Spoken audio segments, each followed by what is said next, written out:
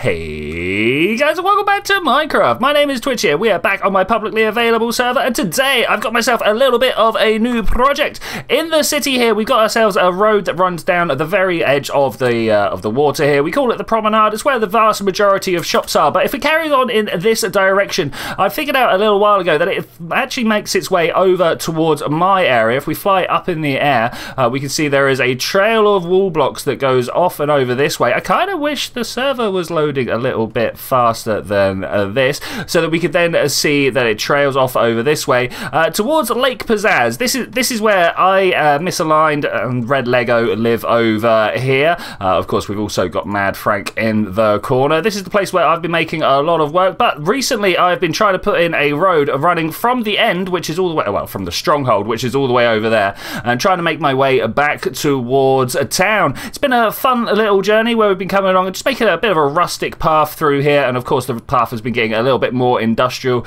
as we've been getting closer and closer to the city. We've got actual stone being put down across a, uh, a cliff ledge there. Uh, but today's project, we're going to define the edge of the city, or at least one edges of the city. As we leave all of the tall buildings behind, we get our, get our way to the spaceport here. Two shuttles, some fuel tanks, we've got a terminal, a little gate system over here. But I feel like as we travel along this way, we uh, I think there's Minute's house over there. Uh, we can come up here, and I've been I've been having my eye on this area, and indeed this bridge in particular. And I think this might be the city entrance, the city gates, if you will. We can have like some sort of ID scanning as the uh, as the people come past and through and in, uh, and then over here we got like gate cops, right? There'll, there'll be like a border patrol of some situation, and that that's what I want to do right now.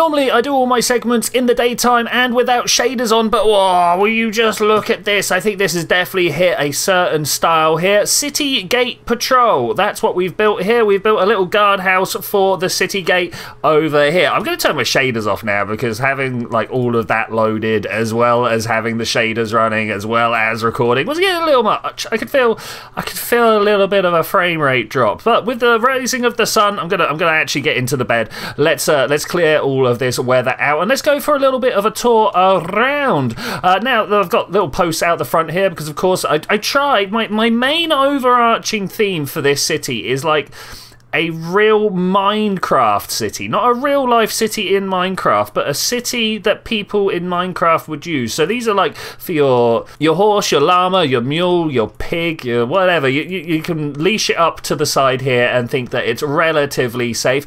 Uh, you come inside City Gate. I, I couldn't get City Gate Patrol on this space here. We just ended up with City Gate Pa and uh, it was it wasn't really doing the job. So you, you, come inside and you've got yourself a beautiful little office space here. You expect to be met by some sort of sergeant over here. Got the uh, soul lanterns at the top, looking pretty nice. A water source, the uh, obligatory dead plant because no one cares about it. The bench that's really uncomfortable in the side of these places. Uh, we got like if it's the sergeant here, I, I don't know, I, constable. I don't, I don't know. Whoever, whoever's out the back here, uh, he's got himself a little desk uh, calendar. I love my little calendar. I think it's great. Office furniture in the background. Uh, this is like the dispatch room. You know, someone someone's run the gate and they they've got to get out and get after them. You've got your your armor and of course your your door opening up here. Uh, a lot of mechanics to make that work. So of course around this side we've got ourselves Oh, what's this? A basement lock. Oh, I mean, I wonder, I wonder where we would find a key to the basement.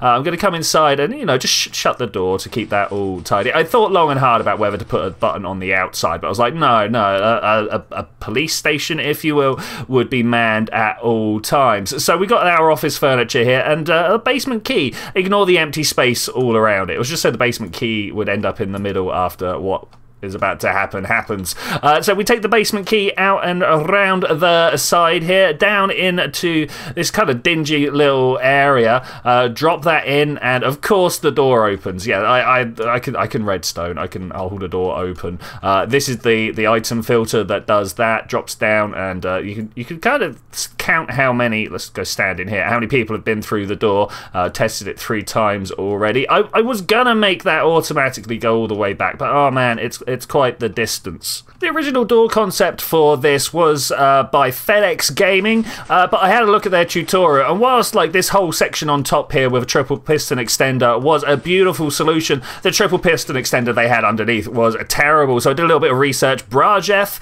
uh, made this nice little tileable version here. I thought that was nice, so I stole it, uh, and it does a great job reaching all the way up there and pulling the door all the way down. Maybe not quite as like smooth as would have liked it. The closing is much better than the opening, but ah, that that that's great. That's wonderful use of technology there. Uh, and then when the door opened up, the uh, the basement door, a little piece of redstone signaling got sent out over this way, and hopefully, bam, we got a new basement key for the next person who wants to come along. Oh, it's almost like an adventure map. Almost, almost. the thing that I'm considering that I haven't actually got covered at the moment is what happens if someone comes along, takes the key, and doesn't go through the door, doesn't find it down there or something. Uh, I, I guess what I want to have is some sort of something that detects whether the basement key is there, and then if a new daytime happens, pushes a key up if it's not, something like that. I'm not sure about that. We're gonna we're gonna leave it for now. If it becomes a problem, it'll be a problem. Creeper on a hill. So I've spent some time adding some decorations outside here. I think this is like some sort of automated scanning on your way into the city. Like they're they're not going to stop you. They're not going to question you. You're they're just going to scan your implanted chip, right? That that's exactly what's going on uh, there. Uh, we've got a bit of a, a dingy side here. We've got somewhere for people to to you know chill underneath the bridge. Uh, we'll have a look at that properly in a second. Over this way, uh, we've got a future business moving in, maybe llama trading, llama shipping. Sorry, not llama trading. That, that that that would be fine. That you can have different types of llama, but I think llama shipping would make more sense here because it's so close to the back end of the the airport. The, you could just bring your llamas up and through, right? Uh, I, have paved all around the edge, and what is this? I don't know. It's more of the idea of a thing than an actual thing at the moment. I. I need some gadget or some doodad or some, you know, some generator, a Radio Shack, uh, a, a, a, thing. There needs to be a thing here, and I, I, haven't quite figured out what would look best. So I've just put some blocks down to remind me to do that. Uh, you saw this. This this is just a, a really, you know, it's broken, right? But it's a way up if you fall onto the flat piece here, which also needs to be filled with, you know, electronic doodads and such forth. Uh, I was going to come all the way over here. Now, obviously this started off quite, as quite a lush, wonderful hillside, and I've turned it into uh, a muddy bank. If I get up on top, made it quite a, a muddy bank. But I, I, feel like this is more edge of the city. I uh, ooh, that, that's too much zoom. That's too much zoom. I really like what I've done with the bridge supports here. Uh, I put I originally put down the wool, the white, grey, and oh well, light grey and, and grey, uh, uh, just as a template. I was just like, right, I need to need to mark out some directions. I've just noticed all of these guys over here. Maybe we'll think about how to light this area up. That's what that's what this is about. It's totally not another homeless encampment. The, the city's full of them, but that that's fine. The mark of a thriving economy, right?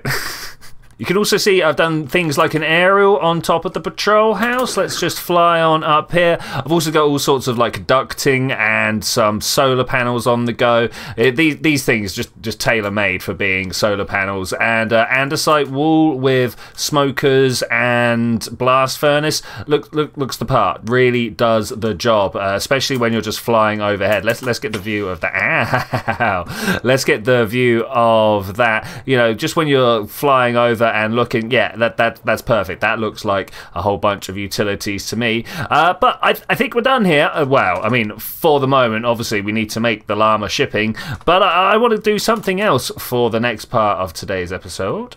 With an eye to finish this base and move on for 1.20.1, there's a few tasks. Hello, Mr. Enderman. How are you doing? Also, that really hurt. I didn't quite mean, quite mean to do that. There's a few tasks that are remaining to be done, and one of them, of course, is my armor trim collection. Oh, I've got I've got an endermite under the floor. Don't don't worry about that. Uh, there's a few around here. Some will be harder to get than others. Like the the fortress armor trim would be uh, fairly difficult. The stronghold one is the one that I've really got my eye on right right now. Of course, there will be some that just I just need to go out and explore. Finding the Jungle Temple one will just mean finding a lot of jungles. Uh, finding the Elder Guardians will just mean exploring for the Elder Guard for the water temples. Uh, the, finding the shipwreck one actually will be more interesting than the others. I, I won't just be like flying around aimlessly. I will actually be looking for something for something relatively common. Uh, these two, very difficult, very difficult. Ancient cities, so we, we need to go through and find those. But as I say, right now, I've got my eye on the strongholds.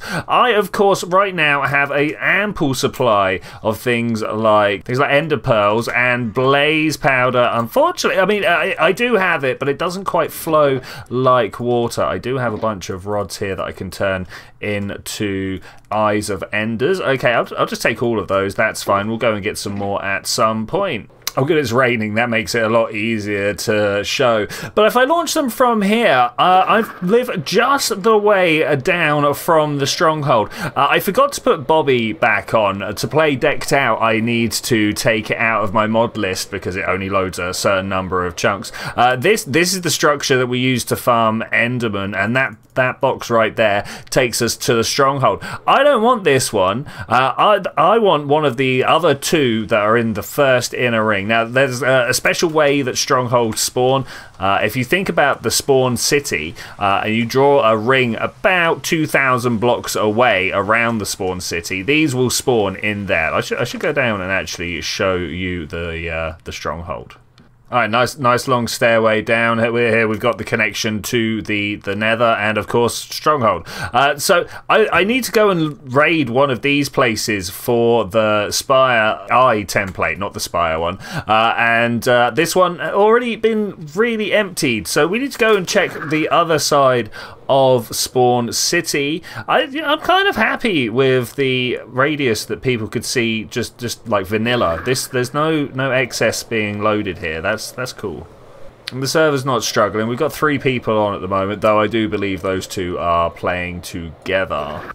Just cruising through Spawn City. Once again, the Elytra and Riptide combination really the winner for exploring here. Okay, so I need to travel, I don't know, let's let's say 2,000 blocks in this direction. We're already at 500. That is pretty cool. Uh, of course, we're probably going to find out that somebody has already been around here and looted, or at least found them. Let's go that way. I, I really need to land to do this. I can't I can't be moving.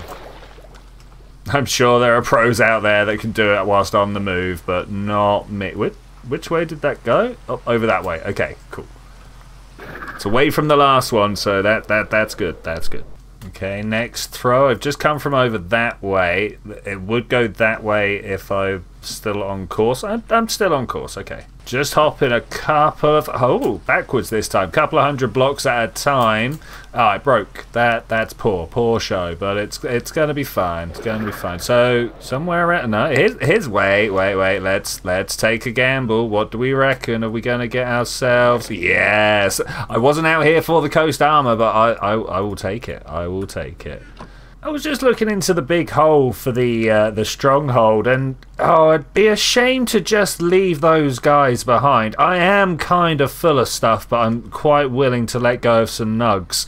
It's probably going to be dangerous down there. Let let's let's go have a look, and maybe if we're lucky, we'll get to see a stronghold as well. Okay, H hello, hello. Um, um I should look around, but actually, I'm just going to be greedy and grab these. It's very dark down here. Very, very dark. I see something over there, but I don't think it's anything to worry about. More importantly, I don't see a stronghold anywhere. Okay, alright. I have had a, a quick look around. I think I'm just going to leave. Safe. Nice. Okay, so I just followed the ender pearl from that coast to that coast, and then it pinged me back this way. So I ran off to the side and did a throw. This uh, did a throw, and it went this way. That's that's a really sharp angle. It it must be like right here like right right here I'm, I'm, gonna do it I've got I've got a water bucket on my hot bar I've got an ender pearl in case I can just get myself out of any situation nothing to worry about. I don't think this is it. Let's carry on. Do we do we see it actually? Wait. No. No. No. Okay. We're ca carrying on down. I mean it's providing a little a light to to the darkness to the depths. I think that that's fine. We're doing a service to the server really. What what are we get? Oh, oh! I recognise these bricks. Yes, yes, beautiful. That's what we want. Now the real question is, did I bring enough torches to light this place up? I've got some torches, but I've just realised I don't have my ender chest with me. What an oversight! If I find some obsidian, I could probably make some. Make yeah, make make a make an ender chest, but uh, un, until such times. Ooh. Oh, oh, someone's very much been here, haven't they? Oh, oh, no, we found... Uh, I, I totally thought this place had been looted. I came in here and had a look, and actually, we're, we're doing okay. Loyalty 3, nice, look at that. I badly, badly need to find myself an ender chest. Okay, so I found... Ooh, that, was close. Uh, I found the... Uh, the portal. That's cool. We're going to be having far too many silverfish spawning here. Okay, uh, one one of them. Great. That that that's really cool. Uh, I'm going to let this flow as well. I think it's important. If the other members of the server don't disagree, I think I have plans to turn this into a sand slash concrete duper. I, I, I think that'll be something cool to do. I don't know what we're going to do about that. Are we gonna are we gonna make use of the the silverfish? I don't know. What I do know though is that I am out of torches. And this place still needs to be raided out. Wait, it's fully lit. How did how did that work? Wait, no. what? what light level does silver? Okay, all right. We're gonna get rid of it. Unfortunate. And maybe with the third one in the ring, we'll turn that into a silverfish cannery and then. I don't know what we'll do with the blocks. There, I don't think there's a way to make them drop, but we can push them around with pistons. Okay, I got the coordinates for this place. Now I've stolen the obsidian from down there. I need to try and make a workbench maybe? Like get my get my ender chest up and running so I can empty my inventory and maybe get some more torches. I do have these soul torches but they're not the best for lighting stuff up with. Okay this place is an absolute maze but I think I have indeed been everywhere. Now the real question is can I run myself back to where I came in I don't know. There's a lot of these areas that just lead. Oh yeah, I've been here. This is a dead end. There's a lot of these areas. These uh, these these pillar st spiral staircases. That's the one. They seem to separate like huge areas off from each other, and it's uh, it's definitely been a bit of a mission to try and keep this place straight in my head.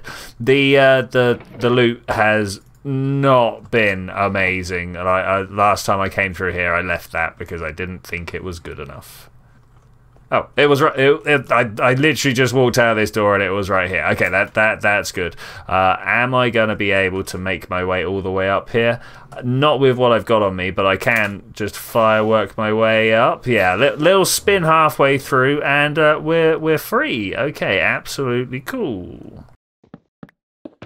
So we got the eye pattern from the Stronghold. I like the pauldrons. I dislike the middle bit. The eyebrows are pretty cool, and uh, the trousers are okay. And then over here we got the coast, and um, I mean it's an armor trim that exists. It's got lines on it. Yeah, that that that's cool. But I think with that, I'm going to say thank you very much for joining me for this adventure, ladies and gentlemen. I will see you guys next time where we've got a whole bunch of more smithing templates to go get. And of course, there's an entire road to be built. So I'll see you then or when we're going to do that.